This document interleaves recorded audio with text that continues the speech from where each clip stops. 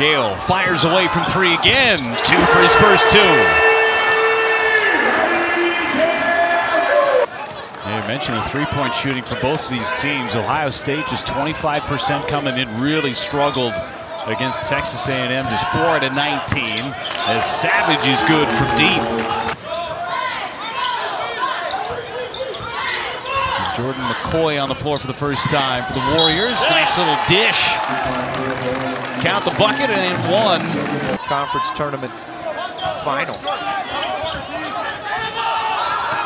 Up top, Okpara all by himself for the flush.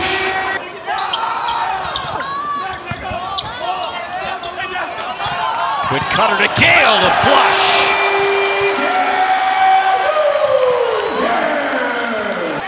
Did not miss. Merrimack coming out, running a screen, back screen, re-screen, out of the timeout to get Plantowski's wide open three. And now Clark picks the pocket, and it's a 5-0 run just like that from Merrimack. Gayle perfect from the floor so far. The lob into Key.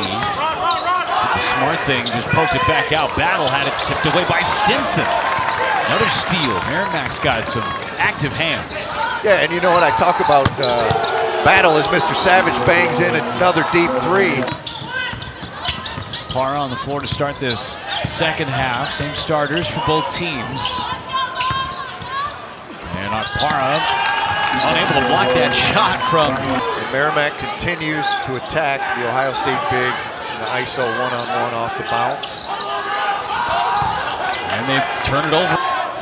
Just three points at the end of the first half. Go inside Mahaffey. And stripped away again. That's Savage.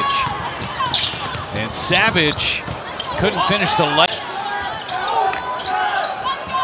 Ohio State fortunate on that last possession not to give up any points. And Gayle a chance for an and one.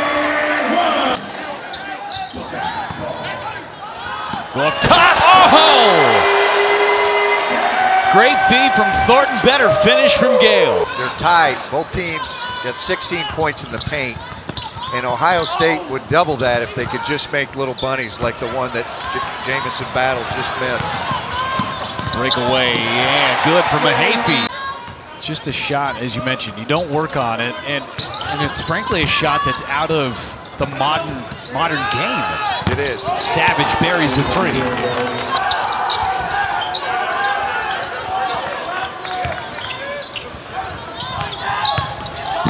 Battle drives, a little jump stop, and he gets the bucket. I'd like to see Battle do that a little bit more. Use a shot fake. One dribble, strong, get compact, explode straight up, and drop the ball in the rim. Love to see him do that more.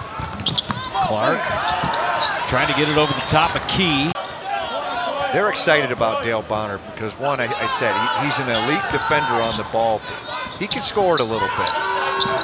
You think Battle's feeling he is, but one thing to point out is that's the second really good look from three that he's got. If he gets a good look where he could shoot it his way, it's going in. Open look from three for... I mean, earlier this season, the volleyball match on the football stadium in Nebraska had 93,000 people. Man, it's incredible. Zed Key, nice spinorama in the jam. If he can, if that can be original for Zed Key, Doug Mc, Doug McBuckets can be original for me. O'Connell in and out on the three. If he wants to play at the next level, he's a guy that has to get to a double-double, and he's fully capable. He's got the double-double tonight. 11 points, 11 rebounds, running the break, three on one. Bonner with the layup. Previously, getting a little run for some of the bench players for Chris Holtmann. Just under two minutes to go as Royal turned it over.